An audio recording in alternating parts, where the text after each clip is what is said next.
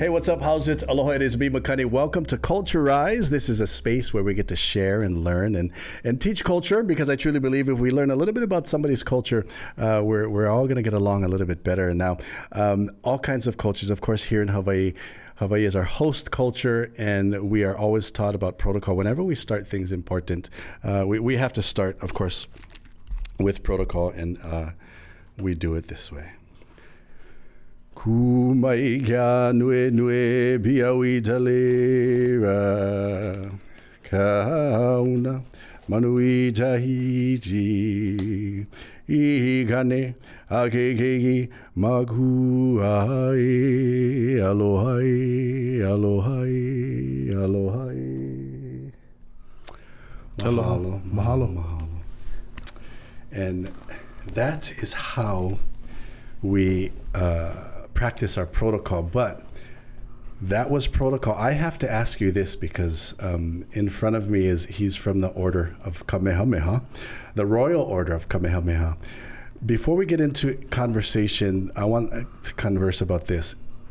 To offer a gift to Ali'i or chiefly line or somebody of the how would one would I I should actually be on my knees if if was kawaka I mean even today yeah or correct me if I'm wrong yeah if you were uh, presenting to Ali'i mm-hmm. yeah you shouldn't be higher than the Ali'i himself so it should but, be you know, even even the whole kupu above me but yet below the yeah, Chief. Dali himself, right? Wow. See, not a lot of people realize that. Like they'll they'll just do protocols and because it's very important to know who you're presenting to, right? Correct. Yeah. So, my friends, I, am humbled. I'm privileged. Uh, Arthur Aiu, uh, thank you so much for being here. Oh, thank you for the invitation. Um, Royal Order of Kamehameha. Uh, we're gonna eventually get to that, but uh, of course, local protocol. where do you went high school? Um, I have had the experience of being a lifer at Kamehameha. lifer. Yeah. Ding, one yeah. more. We, we're keeping track so far. Michelle, how much do we have already? We've come almost every. If you've been watching Culturize, man, Kamehameha School is racking up points as far as guest. Me and my classmate from Lahainaluna, two so far. two, but Kamehameha, a lifer. Yep pretty rare pretty rare so now kamehameha school where where was home where did you grow up so I was raised up on the other heights mm-hmm. of St. Louis. The other heights, I like that. Oh, so that was kind of was that weird? You're growing up in the heights where St. Louis is, but you would go all the way to the other Mauna. Right. The yeah, people just naturally thought since I lived at St. Louis Heights, I would go to St. Louis. But knowledge of Kamehameha Nohoana kalaipohaku, right? Um, so you grew up up up on the top. Halfway, halfway, halfway up. up. What was what was that like? Um, what, what's the what's the name of of that? Uh, oh, Kalaipohaku is that is Kalaipohaku that yeah. entire area. Mm, okay. Kalaipohaku and Wa'ahila are the okay. Hawaiian names places for for that area. Okay, so not St. Louis Heights. Not what what what, they, what else do they call it? St. Louis. yeah, well, it's Honolulu, right? They there you go. There you go. Um, ethnic backgrounds for you. So Hawaiian, mm-hmm. Chinese, mm-hmm. and then Caucasian. Okay. And in the Caucasian, there's a mixture of Scottish and Italian. Wow. Mm-hmm. Wow. In the household, uh, were you privileged enough to grow up with Makua and um, grandparents tutu, or vice, or which, or all? So the house up at uh, St. Louis Heights mm-hmm. actually was my grandparents mm-hmm. on my mother's side, so I did have um, grandfather, grandmother. On my mom's side, two parents. I have a younger brother and then two younger sisters. So you got to. So what in the household? What was more dominant as far as ethnicities go with cultural practices? Was it the Hawaiian side, the Chinese side, or was it all? Well, it's mostly just the Hawaiian side. Mm. Yeah, it's the Hawaiian side. What kind of things do you remember growing up in the household? That what that was cultural practices cultural practices. So, um, my grandparents were faithful members at Kawaiaha'o Church, mm. which are Kalavina okay. Protestant. Mm-hmm. But when my mom married my dad, she actually converted to be a Catholic. So I was raised with the Catholic sacraments. Wow. But on Sunday mornings, because Uh-huh. I was that grandparents' house, it would be Kawaiaha'o Church. We Interesting. Interesting. so the blending of the Protestant and the Catholic, basically same God, one God. Ah. Yeah. If you're joining us, do me a favor, hit the subscribe button, uh, uh, hit the notification button, subscribe. We're talking story with uh, Arthur Aiu. We're going to get into the Royal Order of Kamehameha, but we also want to get into his background in culture, Ike and Mana'o, right here on Culturised. Bringing you what matters. Viewers can receive the Star Advertiser digital full access subscription for just $9.95 per month. Go to staradvertiser.com and click on subscribe. Use the code A High Thing. Bank of Hawaii. Welcome to tomorrow. Member FDIC. Hey, thanks a lot for joining us. Welcome back to Culturize. We are sitting with, you know, I, I'll just be honest with you, as, as because in my head, I know you're from the Royal Order. I literally want to sit on the ground right now, and but that's just how you're supposed to. But we're, we're gonna continue on. So, um, growing up in in uh, and and growing up with grandparents and parents, um, the religious side very strong, as you said. Um, was it did you see that because a lot of times hawaiians have difficulty in culture and religion right being a hawaiian and being religious um, was it like that but it, or was it just every day for you No, it was basically every day um, because there was a strong Christian side, yeah. But my grandparents, they would, they, they spoke Hawaiian, but they would never speak Oh, to me. but but yeah, yeah. amongst each other, you know, kind of along the side. Oh, we don't want to know what we don't want the keiki to know what we're talking about. So, you know. um, but my interest in Hawaiian culture was Mm. day to day because I would hear the snippets of what they were talking about. so your kilo skills were like hmm, watching listening Right. hearing right, yeah, and then the Hawaiian culture side didn't kick in until I was actually at school, and then when I actually started to take Hawaiian language. How, how old were you at the time So I was in high school. It was into high school. Wow. Okay. Yeah. So I, I have. I was going to ask you this question. I ask everybody. So is can you? Is it fair to say that it's it's a weird question, but is that when you realized you were Kanaka? No, no. Oh, You knew it yeah, from- right. At Okay. Kamehameha, right. It's basically was always yeah. Okay. Um, they would have makahiki, and but grandma and grandpa would never speak until I learned how to speak. Wow. Interesting. So when I started to ask them Uh-huh. things and in Hawaiian, then then they would talk. was it? Did they? Because my experience, I would I would olelo to my grandfather, and he would look at me like this. What? was it like that? Because now there was a time where. When you learn Hawaiian language in, in contemporary time was a little bit, or maybe a little bit different, very different from grandparents' time. Oh yeah, because it was book book Hawaiian, right? So did they Yeah. look at you with a tilted head? They had to listen and then oh I, I kind of know what you're saying, but yeah, and, but Yeah, my, he my, just appreciated that I was my speaking. yeah. See, I was I never knew if my grandfather appreciated it or he was just mocking me because he, what are you talking about?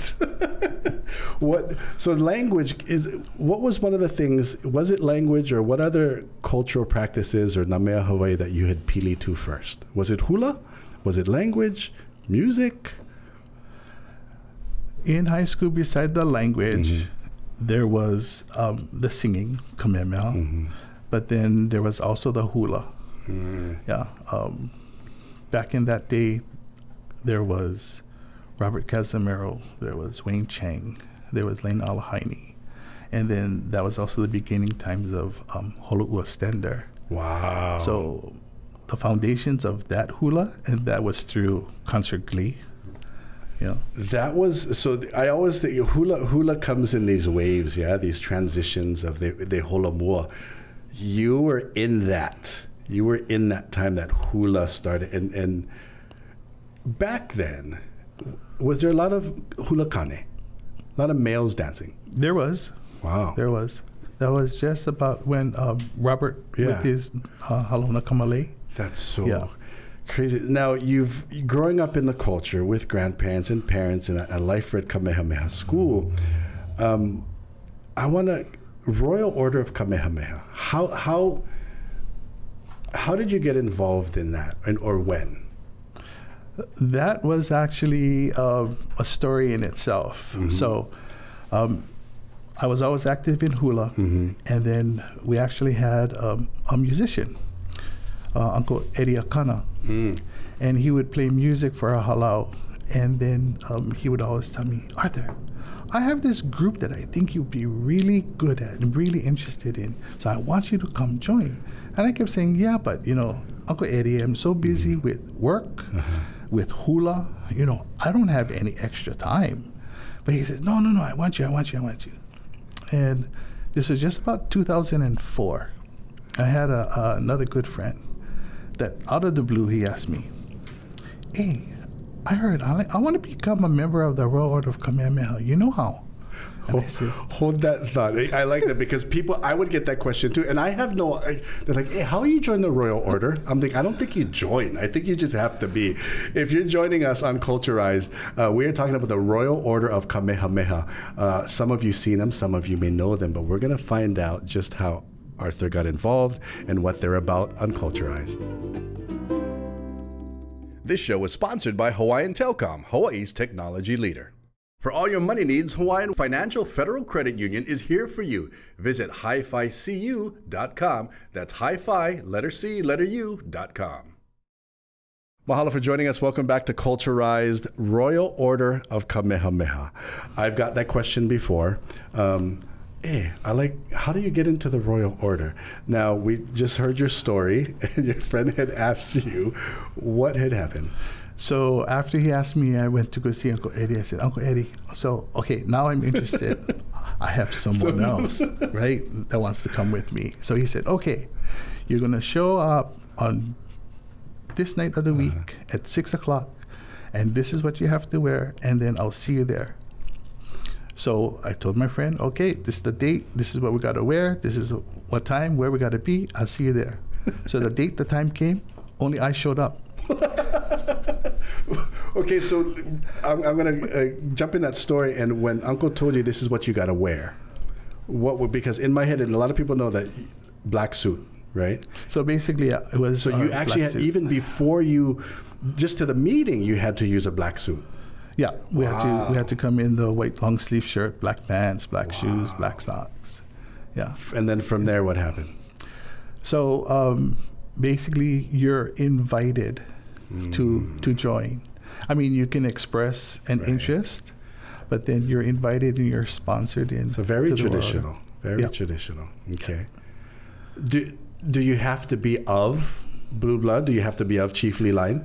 No, not chiefly line. You Mm-hmm. just have to be right now. You have to have Hawaiian blood. Okay. Yeah. Okay. Um, a lot of people think, and then basically we want you to be able to trace your genealogy back a couple of generations. Do you have to do that before you're even invited, or before you're accepted? Well, yeah. Well, actually, yeah. There's a trial period, um, but I like that. A, tr- a trial period. We're, we're, we're going to see if you're good enough. Um, the ro- so so there's you in your black suit, and you show up, and there's and now there's a lot of order, and the hierarchy of that always amazes me because it's very very close or even as was in Kawakahiko, right? As the hierarchy goes. that's one of the purposes of the mm-hmm. Royal Order. We basically try to preserve and perpetuate the mm. ancient chiefly traditions of Hawaii. In, in, in when it comes to the Royal order, who who would be at the very top? What what is the the Hawaiian word for the person? At, of course, ali'inui, or is it It's Ali'inui. okay? Yeah. So in modern terms, would, would we would we have a mo'i in in the Royal order, or would just start from ali'inui because we represent? So Kamehameha. it, if it was the true royal order of mm-hmm. Kamehameha, the Ali'inui would be the mo'i. It would be the mm. king. And there would be basically no question about that because that is who the head of the order is. So the, the the purpose, I, I, I love that the purpose is to perpetuate the, tr- the chiefly traditions. Now, when after the meeting, were you all like, yes, I want to do this? Or was it, ooh, what, what was your mana'o? And it it I was interested. There was interested. Uh, there was interest, and but there was still a sense of uncertainty in what was what was happening. But no, uh, I went back and I kept going back, and that was 2004. When did the because uh, there's a lot of orders and, and and I don't think people realize what orders really are, right? Hawaii in and of itself, we've compared to the rest of the world, we've had orders for thousands uh, years, hundreds. Hundreds of years. Yeah. So the Royal Order of mm-hmm. Kamehameha is actually recognized as the first order in the Hawaiian Kingdom. Wow. Yeah. So it was founded by Kamehameha mm-hmm. V, April 11th, 1865. And it was named Kamehameha in honor of his grandfather. Mm-hmm. So this is basically an order of merit Ah, and I see. basically a fraternity of knights. Okay. Now, did did they? Now, did, did that mimic?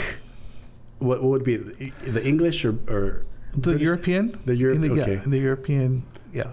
See, and and that's what always blows me away about our, our monarchs and our ali'i. That even at that time, what eighteen? What did you say? Eighteen sixty. 1865. So they knew. They looked at other countries, and it was like, this is what we're going to do because we are a monarch. If you want to get more into the Royal Order of uh, Kamehameha, I, I, my mind is blown right now because I see them, I respect them, but we're, we're diving into just how you become one and what their whole purpose is. Uh, that's what we. You have any questions? Comment down below. Hit the notification bell. Subscribe. Uh, this is what we do. We talk and we share and we learn. And I can't be more humbled to be talking about the culture of the Royal Order of Kamehameha right here in Culturised. Culturised, brought to you by Beachside Roofing, the leaders. Poncho Solar is specialized in providing energy solutions throughout Hawaii since 1987. Call us at 808 773 7384. Mahalo for joining us. We are sitting with Arthur Aiu, uh, Royal Order of Kamehameha. Uh, wow, I'm the first order in Hawaii, and I, I like how it, it just made me. Really, it's an order of merit. Um, but I really, really, I love the foresight of our ali'i because they thought, okay, we're going to take this English and this European concept, but we're going to make it Kanaka. We're going to make it Hawaiian. Um, so it started then, and it was just it was just a fraternity. And how long? I can't even do the math right now. How long has it been? 1860 something. What is that? 200 years? I don't know. 300 No, not quite. almost, almost there. But it's going to go on. Um, in the royal order, did it always start with the black suit and ahu'ula? Uh, was that always the attire? No, no. Originally, the order, you will see like photos of, well, the order itself is like a, a, a Maltese cross. Right. And you'll see um, Lot um, Kamehameha Oh with, yeah, yeah, yeah, yeah. with it on his left side Mm-hmm. in his black suit. Um, the the Ahu'ula tradition didn't come Mm-hmm. in until later, but um, it's just that we we claim our beginnings Mm. with Kamehameha V, okay. and then um, Kalakaua continues it. Then he establishes his own orders, and then even Liliuokalani, and then overthrow. We go underground. Wow. Yeah, because um, the then government thought that yeah. we were a threat. which is I which I think is actually a good thing when they can look at a, an order of, of natives and hey, watch these guys out. so meaning underground, so meetings and whatnot was away from the public eye. Yeah, and then you know people say it then it became a secret society. Ah, that's- yeah. Yeah, um, but um, and then the history turns to um, the early 1900s, 1902, 1903 with Prince Kuhio. Mm. And when Prince Kuhio, he reestablishes the royal order. He brings it up on uh, from underground, and that reestablishment happened like on the evening of June 10th, the night before Kamehameha Day, 1902. Kamehameha does a midnight torchlight ceremony at Kamehameha statue, No and he proclaims that the royal order is no longer underground. What? And yeah, so and then that that establishes basically the modern era of the Royal Order. Wow. So if you look into the archives, then you will start to see um, Prince Kuhio, and then he is um, elected as the first Ali'i Aimoku as the title, which is the highest title at that time, and basically the same title that I hold for Hawaii Chapter One. Yeah. And so um, then it moves through, and then they start establishing different chapters throughout the islands. So Honolulu is the first one. Then they move to Hilo, then Kauai, then to Maui, and then Molokai. And then they start to establish a total of 10. There's a total of 10 in number, but nine active. So here on Oahu, we have three chapters. Basically, um, number one takes care of Honolulu. Um, we have one that takes care of Ko'olau. And then the, the third chapter takes care of everything outside of Honolulu and Ko'olau. Hawaii Island has four Maui, Kauai. Wow. So you're you're sitting like there at, at pretty much the Ta'ali Aimoku. Now, do you have to oversee other chapters or just yours? No, just uh, the Aimokus will oversee just their own chapter. That's that's that's heavy kuleana, right? Um, Royal Order of Kamehameha. I, I'm, I'm, my mind is blown. There's all these questions that are, that are coming to me now. Um, when the Ahu'ula started, um, did you have to make your own? Um, no, no, actually, no. Because they're actually made out of velvet, Okay. yeah, and satin. But, hey, the current Ali Nui, uh, Alika Deshe out of Kona, um, he actually has been uh, crafting feather ahu'ula. I want to get into that. We're going to get into it on an extended version. Uh, go to our YouTube page, hit the notification bell, subscribe. Royal Order of Kamehameha, mahalo for being here. We're going to keep him and talk some more on Culturised. Hey, what's up? How's it? Aloha. Welcome to Culture Rise. If you're joining us on YouTube, this is the extended version. If uh, you caught the previous part uh, on KKI 50, thank you so much for doing that. We're talking about the culture of the Royal Order of Kamehameha. Uh, a lot of times you see them. A lot of a lot of uh, Native Hawaiian events throughout Hawaii. Um, they are the gentlemen in the black suits, the ahu'ula, um, and you know it's them not only because of the way they dress, because the the regalness, the ano about the royal order is till this day. As even as a, I remember being a, a young uh, child, and you, you would see the order, and I'd always think, and like that's that's as close as you're gonna get to ali'i. That's like that whoa, right? And I remember you would always be somewhere at a parade, and and the auntie or the uncle or the mom, and they push you on the side. They're coming, they're coming, right? Um, just the regalia of the black suits, the ahu'ula, and we left off, and and um, they're actually making a traditional one right now with feathers. So, um, yeah, so the current Ali'i Nui, Alika Deshe, um, he has initiated um, this program with the, with the um, with the Royal Order, and um, we actually have what we have short shoulder Okay. capes, and designate them as officer capes. So you can actually you read it's my like the mind. Mhm. insignia of what office you hold. Ah, Um, so we have been fortunate enough to uh, engage um, Kumuhulu, uh, Rick San Nicolas, um, to come and teach some of our members in the purpose of perpetuating our ancient traditions wow. and um, actually handcrafting feather ahu'ula. so um, they're, they're, they're, it's a journey that's just being embarked on now. It's fairly new. The reason why I shake my head if you're joining us, if, if you've ever worked with any type of hulu, whether it's a lay hulu, whether it's it's the, you cannot think about anything else but that hulu in your hand. Um, before we get into the making of it, I, I want to go back to the, the length of the ahu'ula, right? And you were talking about how they determine, and that's a very traditional thing as well because symbols and, and, and regalia really determined where you sat in the, the, the line So if it's to the shoulder, you're an officer. So basically, yeah, um, there's officer capes, and those would be just short shoulder capes. Yeah. Um, for the most part, those are not typically worn out in public, Interesting. Okay. um, but that would be an internal si- sign of what our offices are. There are only there are certain um, ali'i or officers that will wear those capes, those short capes in public.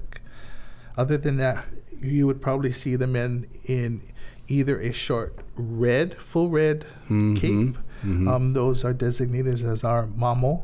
They're not quite yet elevated to the ali'i status yet. And then, uh, as an ali'i, you, you will see, which is more common, a uh, yellow cape that will be wrist, right, right, Right. right down to your wrist. Wow. I see. I, I, I love the the visual um, of the regalia of, of just Native Hawaiians and, and the order and, and just in general because you knew you didn't have to say a word. You didn't have to say anything. I can just look at you and know how I'm going to address you, how I'm even if I'm going to address you, right, and how I approach you. And sometimes I think in in today's contemporary society we forget that. Sometimes we just approach people when you know what I mean. It's it's like even some people I, they say. I just had this conversation. In fact, it's funny you say that. Um, somebody was asking me that they wanted to get in touch with a kupuna who is a kahu, um, and they said, well, "I said, well, you know what to do." They said, "No, I don't." I said, "Eh, what do you mean you don't know what to do?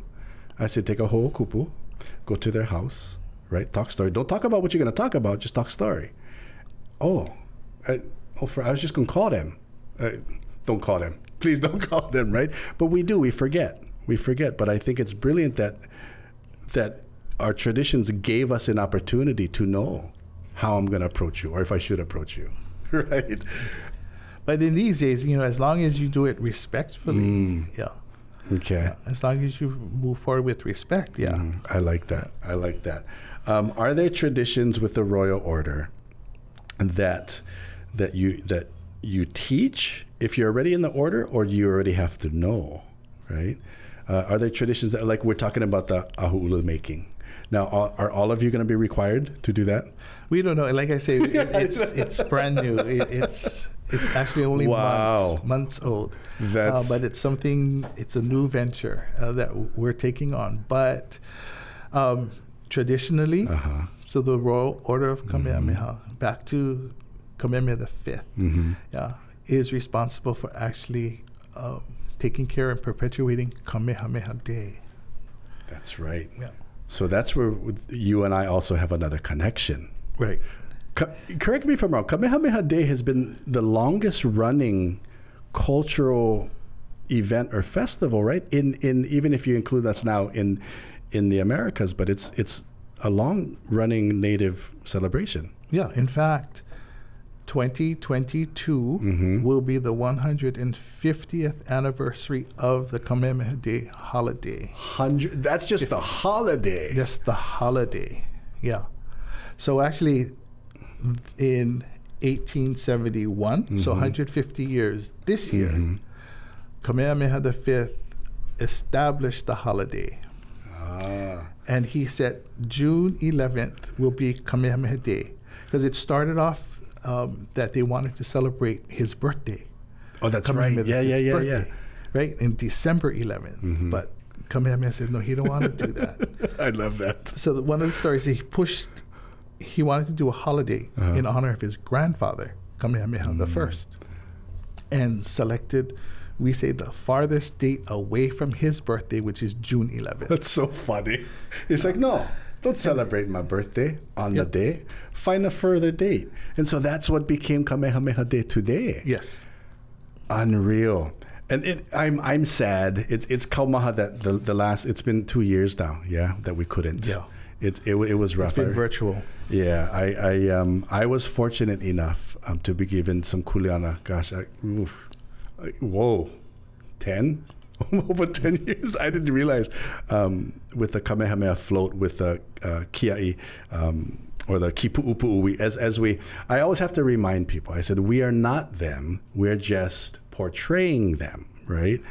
Um, and here's something else that's funny is because um, it's it's we take it really seriously. So we have some. I it's like the order. We get some people call, hey, I like being you guys float because I go gym. Oh, okay, right. I was like, there's there's a whole thing that you have to do, we have to do before you you get there, um, and it's always funny because a lot of people don't realize those things, and that's why I love. A part of what I do for those guys is they have to go research the royal order because I always tell them, we're gonna be right next to them. We are nobody. we protect them, right? because and then they get it. They're like, oh, okay, and so I'm hoping, I'm hoping that by 20, what is next year, 2023, 20, we get to have the parade. Yeah. So no, actually, the idea is hopefully by 2022, they'll there's going to be some kind of celebration. Yeah. Because we still, I mean, we still did the the draping, right? The lei draping still mm-hmm. happened. Okay. Okay. Yeah. And you guys, who's is it? All the chapters that have to show up, or who's in charge of that Kamehameha statue? So actually the basically all the Kamehameha statues fall mm-hmm. under the purview of the King Kamehameha Celebration Commission. Mm. Uh, and that's actually state, but the representatives. Okay. Yeah. So we have the four uh, Royal Hawaiian Benevolent Societies, which are the Royal Order of Kamehameha, Ahahui Ka'ahumanu, mm-hmm. Haleona Hawaii, and Daughters and Sons of Hawaiian Warriors Mamakakaua, mm. along with other representatives, yeah, make up the commission to organize the celebration events. Is, is, there a certain age to to be on those to be on the royal order? So to belong to the royal order is 18 years. Oh, old. okay, okay. Yeah. It was, you know, I was say, you know, sometimes our elders think at a certain age we don't know nothing yet, right? Uh, so we are talking about the Royal Order of Kamehameha. If you're joining us on YouTube, um, hit the subscribe, uh, hit the subscribe and the notification bell. Comment down below if you want to, you want to find out more about what the Royal Order does. Um, it's always because I don't ask if you can be on it, right? You'll be invited if your time will come. But mahalo, mahalo, mahalo for being here. Thank you so much for making time. Um, and hopefully we get to see each other again for Kamehameha celebration. Um, thank you for all your ike and all your manao that you've shared with us. And I definitely want to bring you back, Bombay, because we got to talk hula. Arthur Aiu, ladies and gentlemen, thank you so much for joining us. This is Culturised, the Royal Order of Kamehameha.